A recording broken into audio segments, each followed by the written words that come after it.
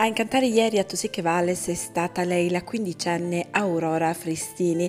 La giovane infatti ha eseguito Eppure sentire la canzone di Elisa non solo con la voce meravigliosa ma anche con la lingua dei segni.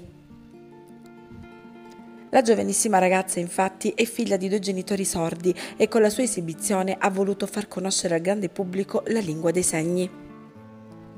Dopo l'esibizione, che ha dato una grande dimostrazione di classe, eleganza e gran timbro vocale, ha voluto parlare anche della sua situazione di figlia come genitori sordi.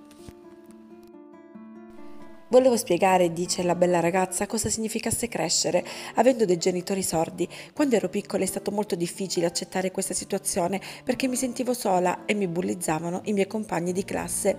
Poi però con gli anni crescendo ho capito il vero senso di una persona che non sente. Una persona che non sente non è una persona senza valore. Io voglio tantissimo bene ai miei genitori, li supporto, nonostante stia vivendo la mia adolescenza, ci sono sempre per loro. Vorrei che nel mondo si rispettasse la sordità disabilità e le persone con disabilità non vengono più discriminate.